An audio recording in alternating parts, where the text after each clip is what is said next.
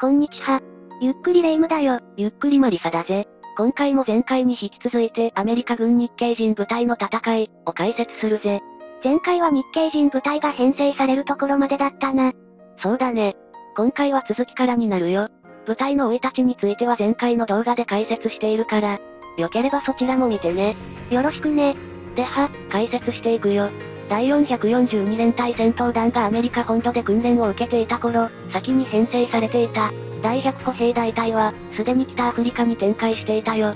9月22日、イタリア南部のサレルノに上陸した第100歩兵大隊は、同じくイタリアに展開していたアメリカ第34歩兵師団指揮下に入ったよ。彼らはそれから6週間の戦闘で死傷率25%のダメージを受け、3人の士官と25名の志願兵が戦死、239名が負傷しているよ。その後、第100歩兵大隊は激戦で知られるモンテ、カッシーノの戦いに参戦。確か、この戦いはドイツ軍防衛線、グスタフ、ラインの一角を構成する。カッシの山周辺部のドイツ軍防御陣地を攻略しようとした戦いで、地形を利用して築き上げられた強固なドイツ軍陣地の攻略に、連合国軍は多大な犠牲を払ったんだよな。おおむねその認識で間違ってないぜ。この戦いには第100大隊の B 中隊が攻撃に参加し、187名の兵士が、果敢な攻撃を繰り返したものの、ドイツ軍の強固な防衛陣地の前に、次々と倒れ、最後に立っていたのはわずか14名に過ぎなかったよ。この戦いによりされるの上陸時約1300名の兵力は、すでに521名まで、減少していたよ。半分以下になっちゃってるじゃない？この後、アンツィオの戦いなど、イタリア戦線でのいくつかの戦いに、参加した第100歩兵大隊は、1944年6月、連合国軍が北フランスに上陸する頃、イタリアの首都ローマに最も近い位置にいる連合国軍部隊であったよ。あと10キロでローマに到達というその時、上級司令部により停止命令を受け、国道沿いに1日待機させられたよ。結局、ローマ一番乗りの栄誉は白人部隊に送られることとなったよ。なんで待機なんかさせたのかしら？この待機命令の理由には諸説あるものの、有色人種への差別を原因とする。説は未だに根強く残っているよ。橋本明、機民たちの戦場によれば、日系部隊には名声はいらない。果敢に任務を遂行する狐顔の日系人は埋もれた消耗品に過ぎなかった。としているよ。実際他の理由であったとしてもそう思われて仕方ない命令ではあるわね。この直後、第100歩兵大隊はイタリアへ輸送された第442連隊戦闘団と、合流を果たし、第100歩兵大隊は第442連隊戦闘団に編入されたよ。しかしこれまでの戦績を認められ、第100歩兵大隊の名前は連隊内で、残ることを許されたよ。第442連隊戦闘団は約3800名の隊員からなる完結型を目指して編成され、独自の砲兵隊、医療班、工兵隊によって補強されその夏の残りを、イタリアの中北部での戦闘に費やし、多くの損害を出しているよ。7月半ばまでに第442連隊戦闘団は1100名の敵兵を倒し、331名を捕虜にする戦果を上げ、8月31日までに239名が戦死し、972名が負傷していたよ。1944年9月、第442連隊戦闘団はイタリアを離れ、船便で、フランス、マルセイユに上陸したよ。同連隊は、すでに南仏に上陸して北上する連合国軍を追って北へ向かったよ。南仏に上陸した連合国軍は、ノルマンディーよりドイツ本土を目指す。連合国軍との合流を目指していたのよね。第442連隊戦闘団はこの時同じく北上を続けていた米第36歩兵師団に編入。その後10月にドイツ軍によって要塞化されていたフランスの町、ブリュイエールの攻防戦に投入されたよ。まだ夏の戦闘服を着ている者が多い第442連隊戦闘団は、傾斜が急で泥だらけの斜面を登り、冷たい風と雨、そしてドイツ軍の砲弾に耐えながら戦い続けたよ。同連隊はブリュエール周辺高地に立てこもるドイツ軍を損害を出しながらも、確実に排除していき、9日間の戦闘の末に町をドイツ軍から解放したよ。わずかな食料と水を携えて地下に避難していた人々は、黄色い肌と、釣り上がった目をした小さな男たちを見てびっくりしたと伝わるよ。この時期の欧州人から見たアメリカ人のイメージなんて大柄な白人だろうものね。このブユイエール周辺の攻防戦において、ドイツ軍の捕虜となった。ある日系兵は、ドイツ軍にこう尋問されたよ。あなたは私たちの側について戦うべきなのではないのですか？敵になるのではなく、どういう風の吹き回しで、自分をアメリカ人なんて思うのだろう？今でもブリュイエールの方々は解放に大きな貢献をした第442連隊戦闘団を称えて、街の中の一つの道路を、第442連隊戦闘団通り、と名付け、親しみを感じているとされるよ。地名に名前を残すほどの素晴らしい功績だったのね。ブリュイエールとその周辺の総統戦を終えた第442連隊戦闘団は、2週間もの休暇を与えられ、休養と戦力回復を行ったよ。ちゃんと休暇をくれるのがアメリカ軍ね。しかし、それはわずかに日間で打ち切られたよ。どういうこと？この時、同じ第36歩兵師団でテキサスの州兵軍であった。第141連隊第1大隊、通称、アラモ連隊、が孤立し包囲されていたよ。これを救出せよというのが第442連隊戦闘団の新たな任務であったよ。これが、あの有名な、失われた大隊、の話ね。実際第141連隊第1大隊は、失われた、わけではなく、先行しすぎて、分断され孤立しただけであったよ。それが致命傷になりかねないんだけどな。彼らは275名しかおらず、少なくとも戦車に支援された重武装の、ドイツ兵700名に包囲されてしまっていたのぜ。第1大隊は単軍の暗号電を師団司令部に打電したよ。こちら第1大隊、食料なし、水なし、弾薬なし、絶望的状況。何度か救援隊が出動したものの全てドイツ軍に阻止され、また、失われた大隊、自らも包囲打破を試みたものの、50名の、行方不明者を出して失敗に終わっていたよ。さらに陸軍航空隊の P47 戦闘機が物資投下を試みるも、大半は、ドイツ軍に回収されてしまうありさまであったよ。メキシコを相手に死闘を演じた、アラモ連隊、つまりテキサス連隊が、ドイツ軍に包囲された時、テキサス州の上下院の議員団を中心とした。政治家たちは大きな衝撃を受け、大統領に詰め寄ったよ。名誉ある全滅だけは絶対に受け入れないぞ。テキサス青少年を助け出せ。議員団からの圧力を受けたホワイトハウスは、情報収集の結果、窮地に陥った友軍を救出しなければ厄介な政治問題になると判断したよ。アメリカ軍ってものすごく大きい組織なのに、一個大隊が包囲されただけで、そこまで影響が出るものなのかしら。アメリカ政府は、自らの兵を救うことができないという悲観的な、見方を否定しなくてはならなかったよ。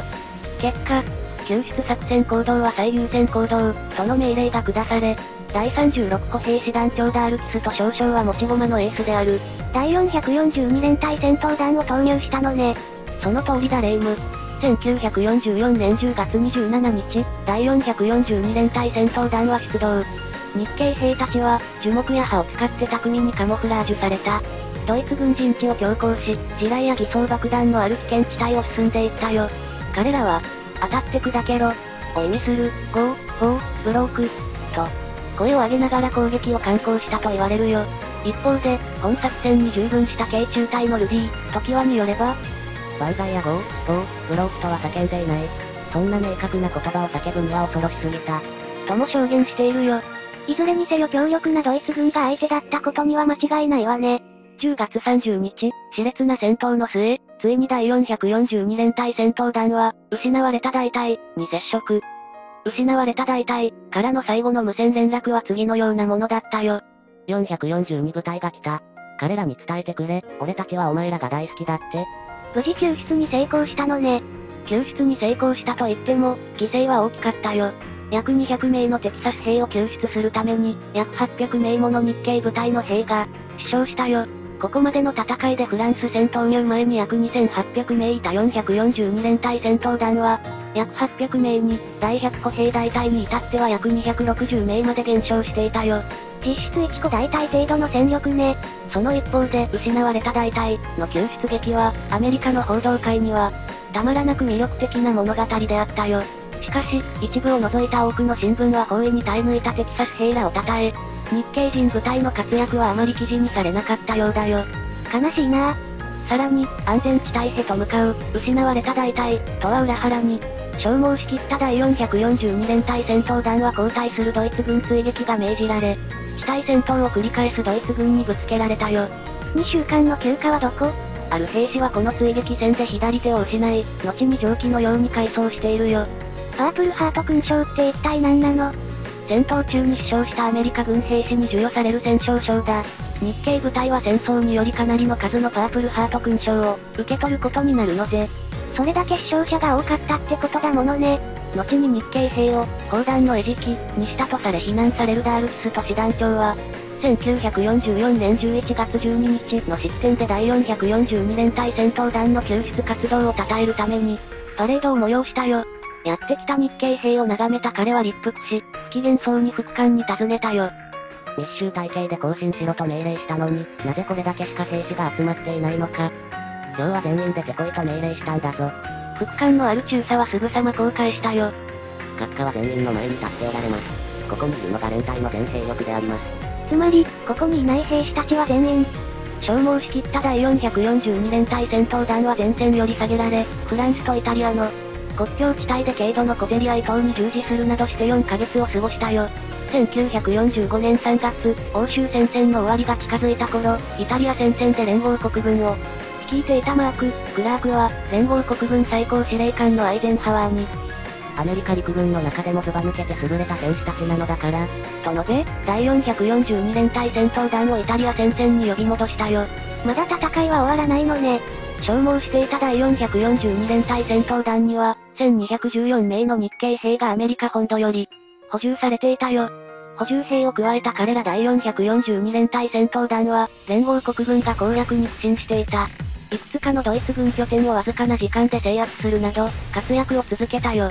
この時小隊長だったダニエル、井上はドイツ兵との戦闘により右腕を失い、貞尾、宗盛一等兵は敵陣から飛んできた手榴弾に覆いかぶさって、命を失う代わりに仲間を助けて、日系2世としては初めてアメリカ軍の最高勲章の一つ、名誉勲章を得ているよ。同じ頃、442連隊戦闘団が再度イタリアに移った時に同行せず、フランスで進撃する各連合国軍師団の支援を担当していた。約650名の日系兵からなる第522や砲兵大隊の兵士たちは、フランスからそのままドイツ本土に進出。ユダヤ人を収容していたダッハウ強制収容所周辺の総統に投入された。部隊の一つとなったよ。ダッハウ強制収容所はアメリカ軍により制圧され、収容されていた。ユダヤ人は解放されたよ。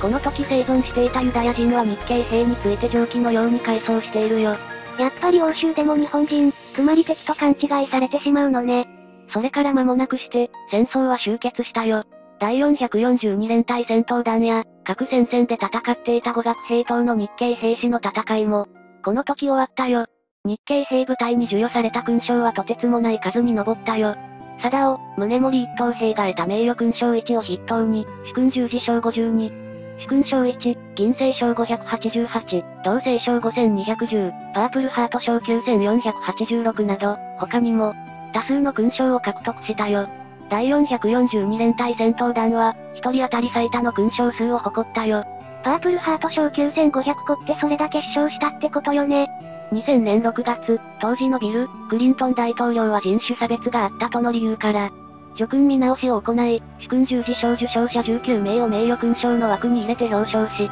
さらに2011年、第442連隊戦闘団、第100歩兵大隊、そして日系兵が所属した、軍事情報部に議会名誉黄金勲章が授与されているよ。1946年7月、ホワイトハウスの芝生には第442連隊戦闘団の約500名と、当時の大統領ハリー・トルーマンの姿があったよ。トルーマンは日系兵に対してこう述べたよ。諸君は、敵ばかりでなく偏見とも戦った。そして、そのどちらにも勝ったのだ。日系兵も戦争が終わると、徐々にアメリカ本土、ハワイへの帰還が始まったよ。しかし日系兵も強制収容されていた日系人同様、戦争終結後も日本を、敵視する人々によって差別にさらされたよ。ハワイへの期間中のダニエル、井上中尉は、立ち寄ったサンフランシスコの、床屋で、こんな言葉を吐かれたよ。あんたはギャップで、俺たちはギャップの髪は切らない。帰還した自国の兵士になんてことを言うのかしら。またイタリアで戦死した日系兵の埋葬を妨害するといった出来事すら発生したよ。埋葬を妨害されてしまった兵士は主勲章を得た優秀な兵士で、彼の勲章授与式でアメリカ陸軍のジョゼフ・ステルウェル将軍は、次のようにスピーチしたよ。二世兵たちは己の血と引っ換えにアメリカの陣地をしっかりと守った。共に戦ってくれた日系兵士を守るために、我々兵士は鶴橋義勇弾を、蘇生しなくてはならぬ。しつこい鉄砲玉が我々の仲間をいじめたり、差別するような光景を見たなら、奴らの脳天を鶴橋で勝ち割るのだ。私は喜んで義勇団の設立会員になろう。我々は二世に対する一切の不公正を許してはならない。さもなくば、我々が何のために戦ったのか、その目的が無に帰する。決して全ての人に差別されたわけではなかったのね。しかし、日系人と日系兵士たちはそれからも長い間、差別と戦って生き抜いていかなくてはならなかったよ。今回はこの辺りで終わりにしようと思うよ。ご視聴ありがとうございました。